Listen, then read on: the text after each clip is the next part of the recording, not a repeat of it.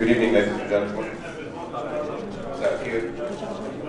Um, I would like to. May I have your attention, please? Thank you very much. Uh, the Joint Special Envoy, um, Mr. Kofi Annan, will have an opening statement, and then we will be taking questions. Mr. Annan.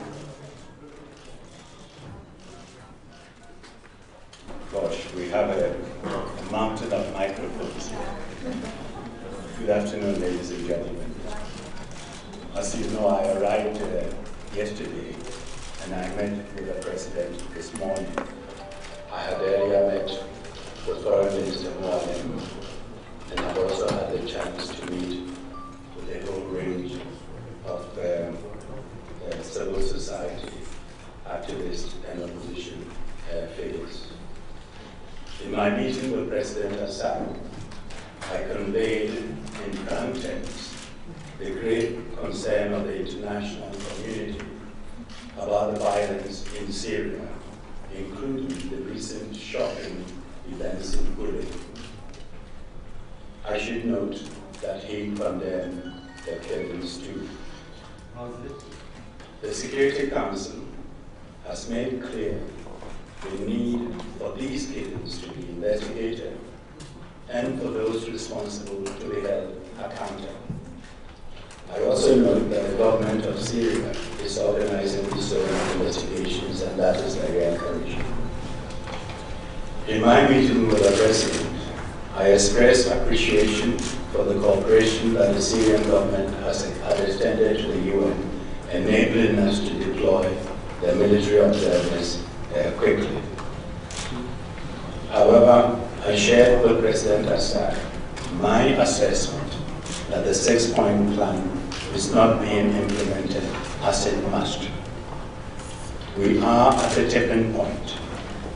The Syrian people do not want a future, their future to be one of bloodshed and division. Yet the killings continue and the abuses are still with us today. As I reminded the President, the international community will soon be reviewing the crisis in Syria, will be reviewing the situation. I appeal to him to take bold steps now, not tomorrow, now, to create momentum for the implementation of the plan. This means the government and all government-backed militias could stop all military operations and show maximum restraint.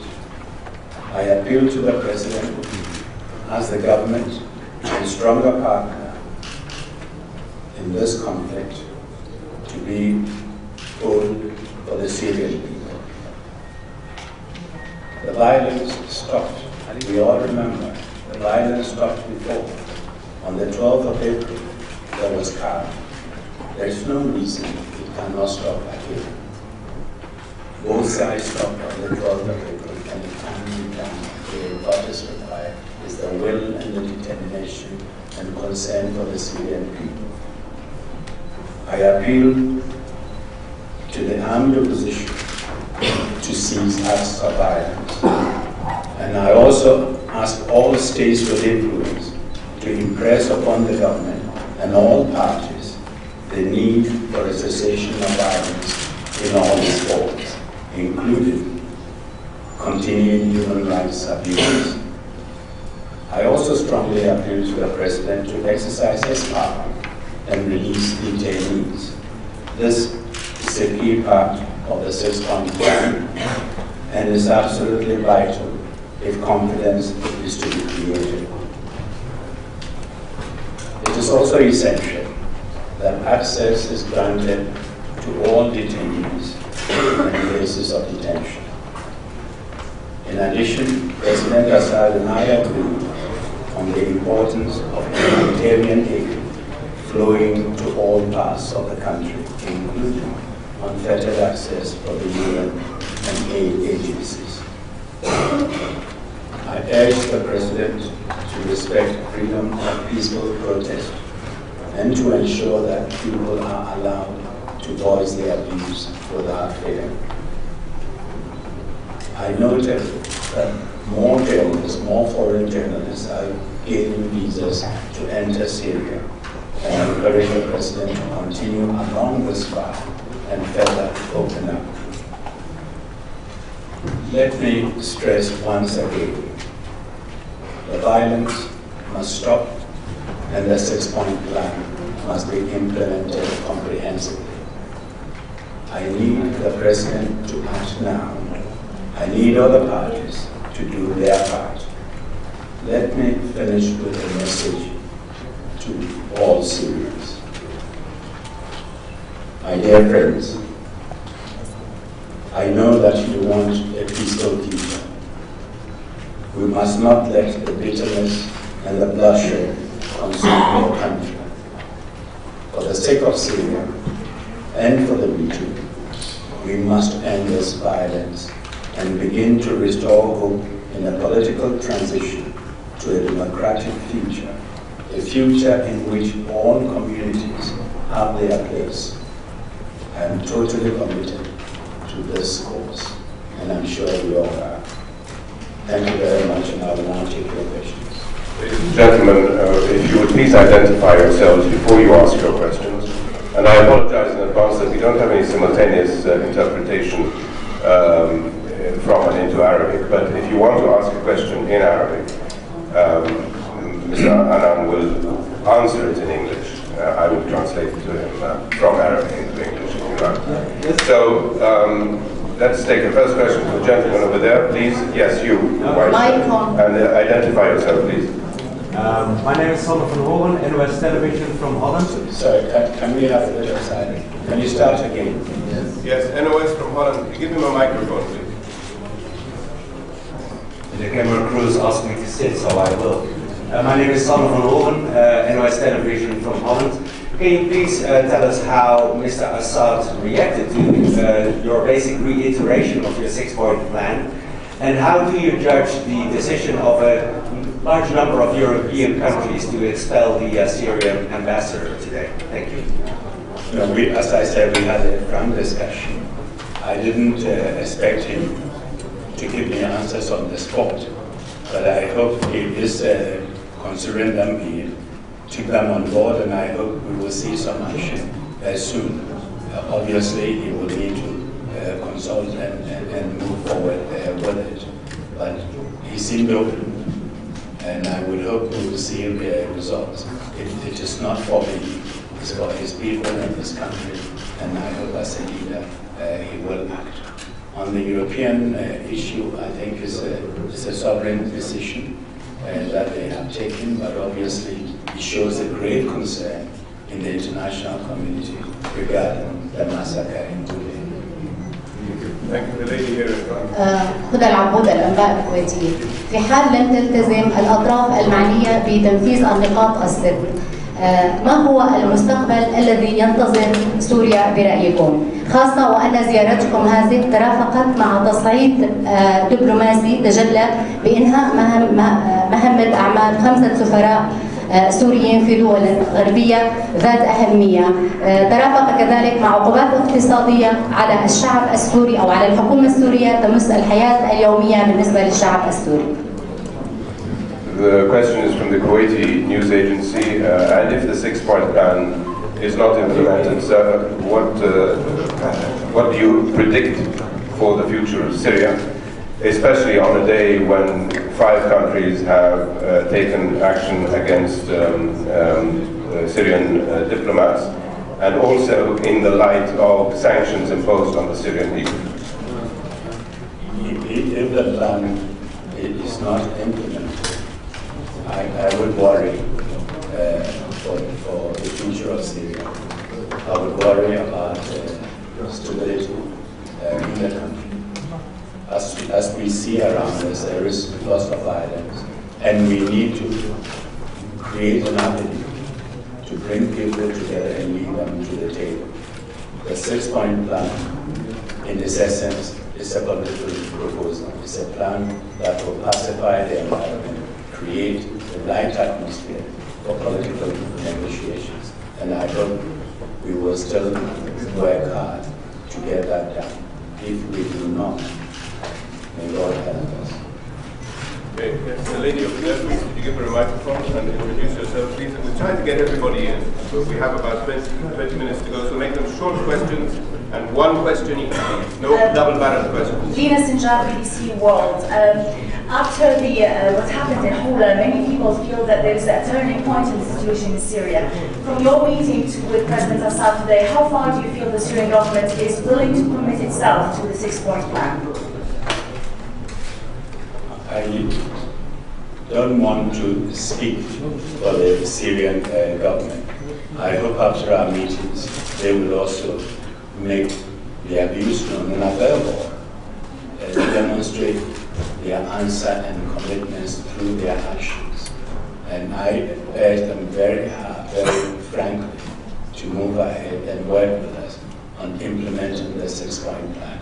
And there are parts of the plan where the government can act quickly and has the authority to do so. Thank you. We'll go to this side and then we come, come back on this side. The lady on the edge here, please, could give her a microphone?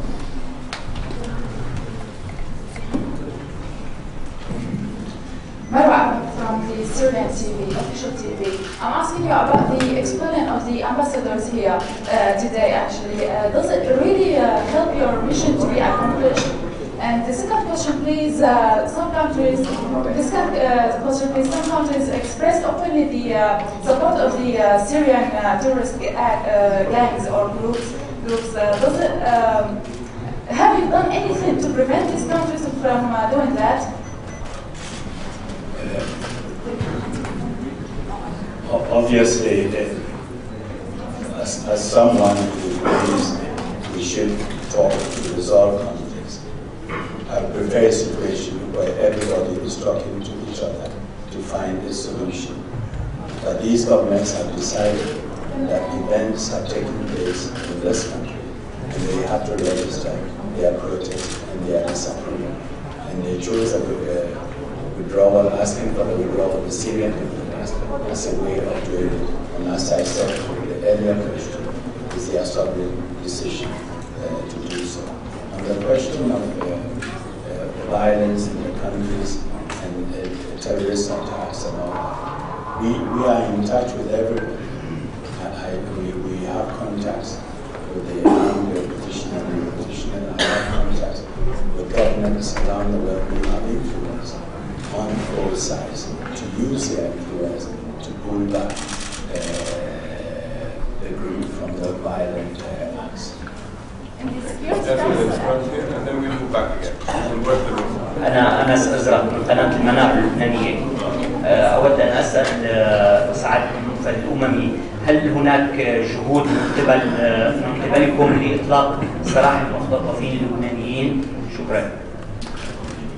The question from Manar Television is, um, uh, sir, have you um, exerted any efforts to uh, uh, see that the Lebanese hostage, hostages are released? Uh, I, I have uh, spoken to some of those involved.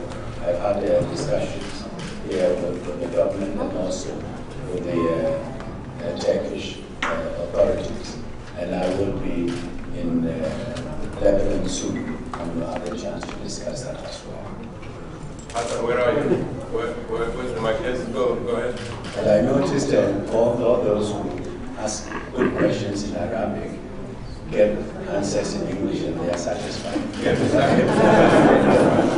Say, I understand you. Very, Very, very Go ahead, who has the microphone? يا صالح من الإخبارية السورية آه، اليوم اليوم مراسلنا في دير الزور آه، كان عم بيصور آه، جثث في منطقة سمو حسن بدير الزور برفقة وفد المراقبين وتم آه، آه، اختطافه وأسره من قبل المسلحين هو الآن الجثث موجودة بسيارته الشخصية وأخبر المسلحين اللي تم آه، اللي اختطفوه بأنه آه، هو مع وفد المراقبين. لحتى يطلع حاله من القصة ولكن المراقبين الدوليين أنكروا هذا الموضوع. يعني أي شيء سيحصل على هذا المراسل سيكون يعني مع المراقبين الدوليين، ما تعليقكم على هذا الموضوع على هذا العنف اللي المراقبين عم بيشوفوه ويعني قدام عيونهم عم بيصير إنه المراسل عفوا. مراسل مراسل الإخبارية السورية في دير الزور. موجود حاليا مع المسلحين مع وفد المراقبين والجثث موضوعه بسيارته بسيارته الشخصية، هذا العنف اللي قدام المراقبين شو تعليق عليه the question, I think, is probably better if Ansmis answers uh, because uh, what uh, the young lady is saying is that their correspondent in Deir Zur was accompanying uh, the observers uh, as they were identifying bodies, and he was helping move some of the bodies. No, he was not filming. He was just filming the. He was filming. Yes. Right. And So you speak some, per- some perfect armed English. Of some armed men um, kidnapped him, and uh, the bodies is now in his car or are now in his car. And he's with the uh, armed men, and he said that I am related to the uh, UN observers, and they uh, denied the thing. They said, no, he's not with us. He was doing This is it, yeah. Okay, I think I get it. I get the gist of This is this kind of violence. I get the gist of your question, and let me, it- it's a question, obviously, I wasn't there, I cannot deal with it. But I would hope it is something that uh, eventually, I think somebody should report, and I think the answer is here. They have heard the question and the complaint, and I would urge you at the end of the session of the press conference to see the announcement officials and then we discuss that. But this is happening. Next question. Thank you very much. Can we take another question, please? The gentleman in front. We're trying to get everybody in. Asaf Aboud, BBC Arabic. Uh, صدر بيان آه، في جنيف. الأستاذ أحمد فوزي أصدره يقول أن آه، السيد كوفي عنان طلب الحكومة السورية بخطوات جسورة لتنفيذ خطة كوفي عنان، النقطة الثانية عبر عن قلقه آه، وقلق المجتمع الدولي عما يحصل في سوريا. والنقطة الثالثة آه، وصف محادثاته مع الرئيس الأسد بالصريحة. بينما الرئيس الأسد في بيان رسمي سوري قال أن ما ينجح خطة كوفي عنان هو وقف الأعمال الإرهابية ومنع تدفق الأسلحة إلى سوريا هل يمكن أن نرى أن هنالك خلافا في وجهات النظر أثناء المحادثات؟ شكرا بس أنت أكيد بتتكلم الإنجليزية بطلاقه بطلاقه أيضا مش كده؟ Um, the gentleman is from BBC Arabic, sir, and he says that your spokesman in Geneva apparently said that uh, you um, asked uh, President Assad to take bold steps and uh, uh, that you were also concerned about the situation in Syria. Uh, and at the same time, um, President Assad has said that the uh, crux of the problem in Syria is the smuggling of arms across borders uh, uh, to the armed opposition or to the militants and to uh, uh, the, did you say, uh, uh, uh, uh, terrorist acts and the smuggling uh, of weapons. Is there a difference of opinion between the two of you? The, the president indeed that to, to me. Uh, and um, uh, when you look at the, the situation on the ground, in, in reality, you have several uh, act- uh, actors and people on the ground. We have the government forces, we have the opposition. There are terrorist activities which we all see. Uh, but I think uh, we, we believe that to, to bring peace to Syria, the government and the opposition uh, armed forces, and whoever is fighting on the other side. Yesterday, I used the phrase that when we talk of peace, we are not giving a message of peace only to the government side or to the armed opposition. It's to everyone with a gun. Everyone with a gun must understand that the people of Syria want peace, and eventually we will need to find a political way out and put down our guns. But the way the six-point plan is uh, uh, elaborated indicates that we see uh, two sides, and we have asked the government as a bigger partner, as a more responsible uh, party, to take certain bold steps to be able to encourage confidence and momentum for the others. That was the basis of the six-point plan, and uh, we are encouraging this. The lady in the back there with the microphone, please. You are. آه، أنا اسمي عمار بوشنيكوف من روسيا من وسائل الإعلام الإلكترونية الروسية. آه، اللي عم بيصير بسوريا أنا ساكنة بسوريا إحنا شايفين اللي عم بيصير فيها هاي اللي صار قبلها بعدد دول اللي صار فيها حروب من عشرات سنين من خمس سنين. آه، اللي صار هلأ يعني كنا كنا ناطرين هذه الجريمة على المجزرة اللي بدها تصير كنا عارفين انها بدها تصير لأنه بتشبه جريمة اللي صارت بالراجك باليوغوسلافيا هاي فتحت أبواب للهجوم ليوغوسلافيا وتقسيمها وتخريبها. هلأ أنا بصراحة يعني ما بدي أحكي شو مصادري بس إنه في مصادر تعتبر موثقة إنه في بعض جهات بالبنتاغون الأمريكية توجهت يعني بلشت بالتجهيز حرب لسوريا بدها تبلش بشهر اثنين اما شهر تسعة. يعني سؤالي كالتالي إذا بلشت إحنا اللي عايشين بسوريا وحكومة سوريا شو بدنا نعمل؟ Uh, the young lady works for, is a Russian who lives in Syria and works for online uh, uh, sites, Russian online sites. She says that what we are seeing in Syria today, we have seen in Yugoslavia, we have seen in other conflicts before, this pattern of brutal crimes we knew would be committed here, and they have been committed, committed here. And we have sources that tell us that the Pentagon is preparing for war. Uh, if that happens, what do we do? And what do Syrians do? And what does the government do? First of all, I have no information that the Pentagon is preparing uh, for war. Uh, and by implication, you, you think we will repeat what happened in Yugoslavia. Uh, I have no indications of, of that. I think what I will insist on is that we all take steps to help end this uh, violence. Yes, the government and the uh, other parties with guns have a responsibility. But let me say that we as citizens and as individuals are not entirely helpless people should make their feelings, i think we have, I know it's, it's, it's, stressful, there's lots of fear, there are threats, but people can find ways and means of making their feelings known, of getting the message around, we don't accept this. This is enough. No more violence, no more.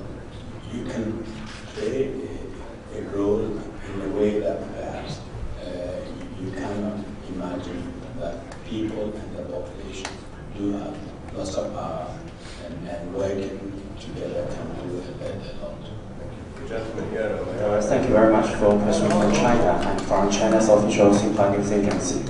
Uh, uh, please, uh, I want to know what is the most difficulties for your six-point peace plan? We have just noticed that all parties say they are committed to your plan, but actually the action is different. Thank you. This is why I'm saying words are wonderful, but action is better. The, the, what is important is demonstrate through action a real commitment to the plan. And this is what the international community is asking for now, action, not uh, words. Uh, because as I said, some of these points can be done very easily yes, if you take the question of stopping the violence, one needs both sides to sort of come together. I mean, the government, if the government moves, the other side has to move. We are encouraging everyone to commit to actually doing it. But on some of the others, the decisions can be taken and they can be done. So what we want is action, not just vocal commitment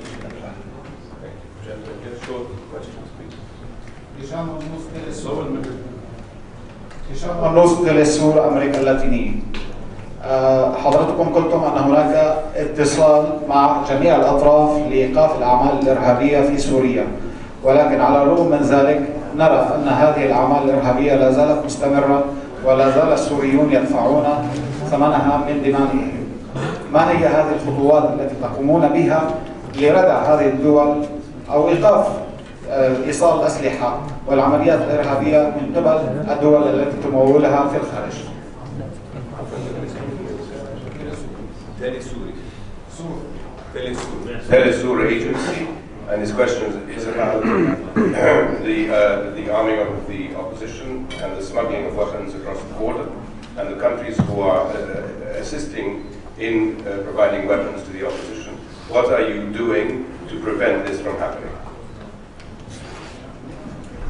First of all, as a uh, joint envoy for the uh, UN and the Arab uh, League, my mandate is clear. My mandate is for us to work with the Syrians and all concerned to find a peaceful solution.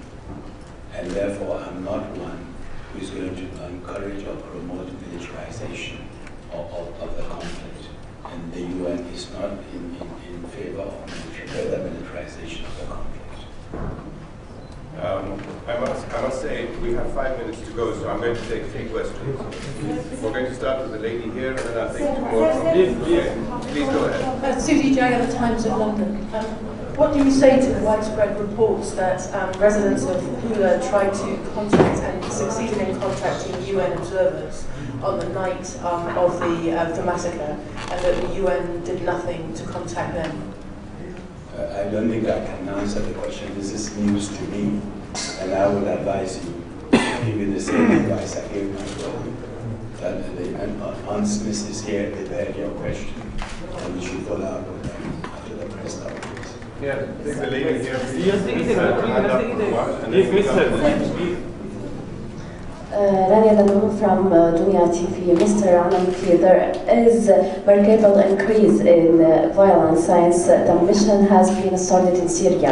Uh, uh, and besides, there are statements by the opposition rise its terrorist against Syrian people. So, how will you evaluate your mission in light of this development, and how you feel about your mission will succeed in the end, and why? First of all, let me say that uh, the monitors are not independent actors. They are here to help.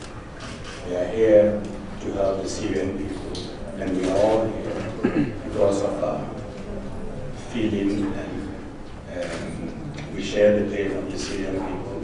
We are. We put your welfare at the center of everything that we do. At the end of the clear.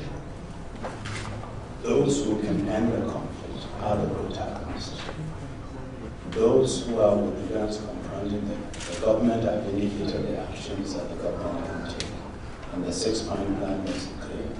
We've also indicated the actions we expect the opposition and the armed groups to take. We have also appealed to governments around the world not to further militarize this uh, process. The observers are here to help.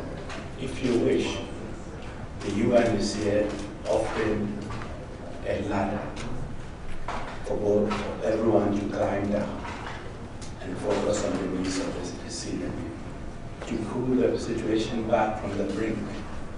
They are not armed. You've seen the weapons the others have. How would one expect 300 armed, unarmed men to stop the conflict. I get very distressed when I read in the press that the monitors have not stopped the war, that the monitors have failed. They did not come here to take on the fighters. They came to offer an opportunity, an opportunity for people to make a choice, to accept the cessation of the violence and go through the six-point plan leading political uh, settlement political transition. And I hope this chance will be taken. Pointing fingers at monitors, it is a wrong thing to do. And pointing fingers always at outsiders. Yes, they are important, but there are measures that we can also take. I hope the government will take to really try and end the situation. I'm not saying this because they are my monitors. Even if they were not, I would have made the same argument. Gentleman here. Uh, Hani Mawad from uh, Saudi News Channel. Uh, Mr. Annan, is there any plan uh, to increase uh, the number of uh, observing monitoring in uh, Syria? So some states asked for this to increase, to increase their number. And uh, what about the, log- the logistic support uh, for them? Even uh, also some Syrian parties asked yesterday to withdraw this mission and to announce that it's failing, failure from that national Syrian National Council. Thank you. Let me uh, say that as from the answer I gave to the previous question, you will uh, understand what I'm going to say. I don't think the solution is more monitors. The solution is people acting on an agreement they have signed on. People implementing the six-month plan. People deciding we love our country, we love our people, and we are not going to kill each other. And that the bloodshed must stop. That is where and how we end. They can't do it. It's not the monitors. And, and, and so the, the, and those who believe uh, the monitors have failed, I would suggest it's a bit hasty. They just got here. And they can do even more if other parties cooperate with them. Thank you. The lady in the green scarf, please. Okay, Mr. Annan, thank you. Turn on the microphone, please. We have been at the entrance of Hula. Um, Would you identify yourself? My name is Catalina Gomez from NTN 24 from Latin America. Um, we have been in the entrance of Hula and we could see with our eyes the situation over there. And we also know that the people who are inside are really, really having bad time from any side. Did you get any compromise from both or three sides to stop the killing, to stop the bad situation there, and to get some help to these people who are there? As I said, we, I, I- discussed it in, uh, intensively with the foreign minister and with the uh, president, who are doing their own investigation, and as they are saying, they are our people, and we are, we are also concerned about them. And uh, we discussed the question of humanitarian assistance, getting access to everyone in need, and making sure it reaches everyone. And I would be surprised if they are not taking measures to make sure for those who get uh, the assistance they need. Thank you very much. We'll take one last question.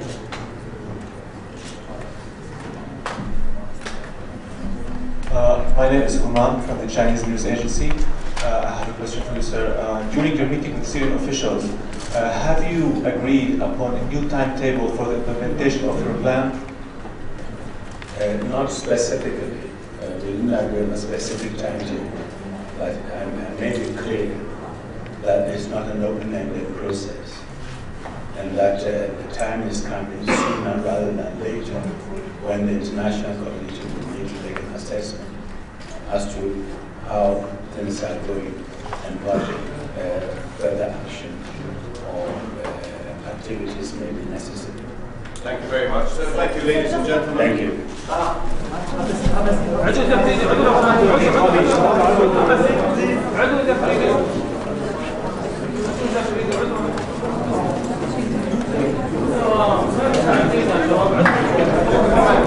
عدو